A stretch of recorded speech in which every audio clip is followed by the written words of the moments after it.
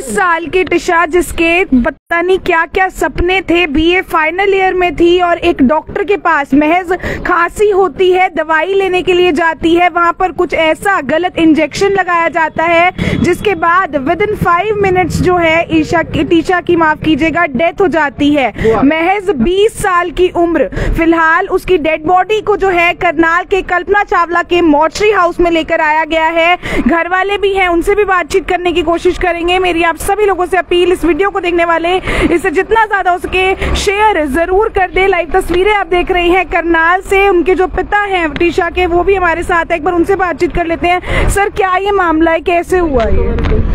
Normal खांसी थी और झोला छाप डॉक्टर के पास, ज्ञान। त्रावड़ी से जो दुकान कर रखी है और उससे दवाई लेने गए उसने इंजेक्शन लगाया दो मिनट में उसने आँखें पलट दी और उसकी डेथ हो गई। उससे कोई गलत इंजेक्शन लगाया गया। उसको किसी ने बोला इंजेक्शन हमने तो उसको इंजेक्शन बोला हमने कहा खांसी की दवाई दे दे। उसने इंजेक्शन गलत उसको पता नहीं था कौन सा लगाना उसने कौन सा लगा दिया इससे उसकी डेथ हो गई है। के। बिल्कुल बिल्कुल। किस नाम से क्लिनिक हो?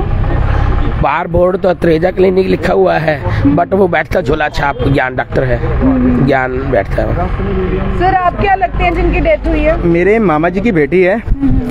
छोटे वाली दीदी 21 साल के थे। उनका नाम टीशा है टीशा बत्रा। और वो उनको एक छोटी सी खांसी हुई थी। वो एक क्लिनिक पर गए वहाँ पे झोला छाप डॉक्टर ने इंजेक्शन लगाया विदाउट पर्चे विदाउट क्लिनिक अत्रेजा क्लिनिक।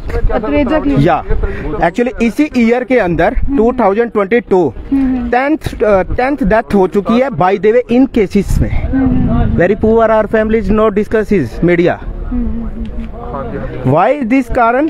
एक इसके अंदर पुलिस प्रशासन ये लिखता है डॉक्टर ये देखिए ये doctor Gyanchand. Why this you prove my degree उसको मुझे डिग्री चाहिए भी इस डॉक्टर की डिग्री है। मैं भी पढ़ा लिखा हूँ मुझे आप साइंटिस्ट पे बैठा दोगे?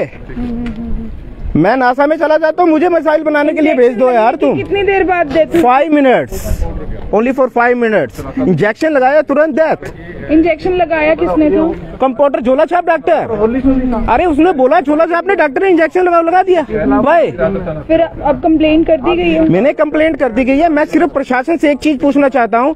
कोई यार कोई गुनाह करता है कोई चोरी करता है कोई कुछ करता है उसका नाम क्या लिखा जाता है? बड़े अच्छे शब्दों में लिखा जाता है। वाई डी यू छोला छाप डॉक्टर लिखा हुआ डॉक्टर छोला छाप डॉक्टर डिग्री दो इसकी कहाँ पर है? इंजेक्शन लगाने का हकदार है? करती क्या थी ट्यूशन वो बीए फाइनल ईयर की स्टूडेंट थी त्रावड़ी से रहते हैं और ये केसेस हुआ है हमारे साथ। तो क्या लगता है इंजेक्शन की वजह से ये इंजेक्शन पोस्टमार्टम रिपोर्ट तो नहीं आई है ना? हम जैसे ही इंजेक्शन हॉस्पिटल में गए मेडिसिन के लिए उन्होंने मेडिसिन की बजाय उन्होंने इंजेक्शन दिया तुरंत। हॉस्पिटल के अंदर ही डेथ हो गई है। क्या कार्रवाई चाहते हैं हम इनके दोनों के खिलाफ कार्रवाई चाहते हैं। मुझे छोला झाप डॉक्टर के खिलाफ भी कार्रवाई चाहिए और मुझे कंपाउंडर के लिए भी चाहिए। आठ हज़ार की सैलरी पे आप इंजेक्शन लगवाओगे? इतने बड़े बड़े हॉस्पिटल खोले हुए हैं। वाई एक छोटी सी बीमारी खांसी के लिए आप इतने बड़े एमबीबीएस पे जाओगे क्या? आप कोई भी गवर्नमेंट हॉस्पिटल है ये चीज़ है ये आठ आठ हज़ार रूपए में डॉक्टर बैठाए हुए हैं। और पुलिस प्रशासन लिखता है डॉक्टर ज्ञानचंद भाई मुझे इस चीज़ का जवाब चाहिए।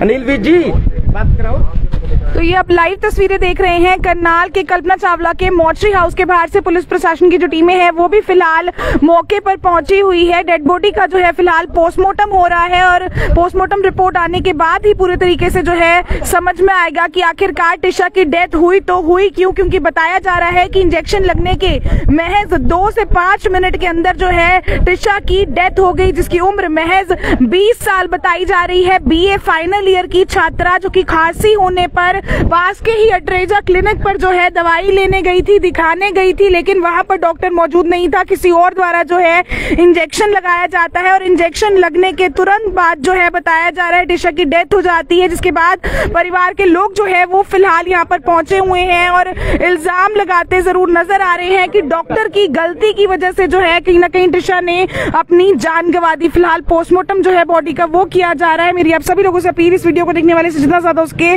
शेयर ज़रूर करें और साथ ही साथ में टिशा के लिए कमेंट सेक्शन में ओम शांति लिखना बिल्कुल भी मत भूलिएगा।